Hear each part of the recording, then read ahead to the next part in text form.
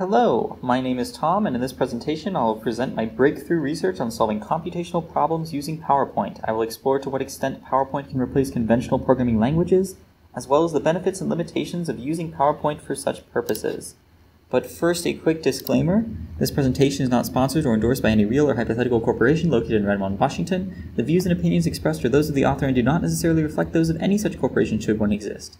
Only trained PowerPoint professionals should attempt to reproduce the results of this research, and the author will not be held responsible for any material, physical, or emotional damages caused by such attempts. So with that out of the way, we can proceed to the background. So as you may know, PowerPoint has hyperlinks and animations, which can be used to add interactivity to your presentations. So we have links here, and then we also have animations, which are particularly interesting because you can trigger them in different orders.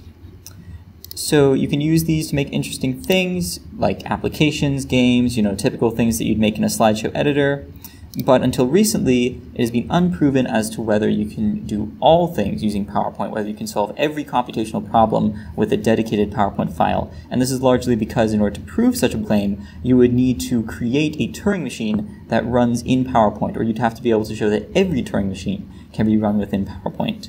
So without further ado, the palindrome recognizing Turing machine. So here we have a Turing machine that decides the language palindromes of even length.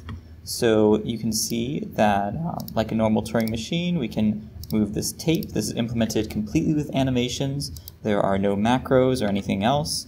Um, so I can write to the tape, of course, so we'll give it a simple input like this.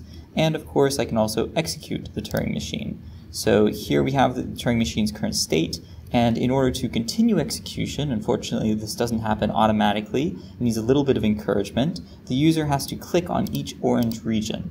Um, now you might be concerned here that I'm making decisions whenever I'm clicking on this, but the way that this PowerPoint is set up, uh, every other area is blocked. So I can click randomly essentially, and the PowerPoint will just advance its computation. Uh, so that was the input 1, 1. So this should end up being accepted. And we can see that it does indeed end on an accepting state. Uh, and I could rerun that with another input and it would reject accordingly depending on what it is. So this is nice, but what we'd really like to be able to do is run any Turing machine in PowerPoint. Fortunately, this is easy because the PowerPoint Turing machine is programmed entirely using punch cards. So for example, this card says that whenever the Turing machine is in state 0 and it reads a 1, then it should write a blank, move to the right, and then move to state 2. But if we change where these holes are located, we can make the Turing machine do something else and essentially imitate any transition function of any other Turing machine. All of this is accomplished using over 1600 animations and around 700 auto shapes. The PowerPoint Turing machine offers a number of advantages over alternative programming languages, offering cross-platform support running on both mobile devices and both commercially relevant desktop operating systems.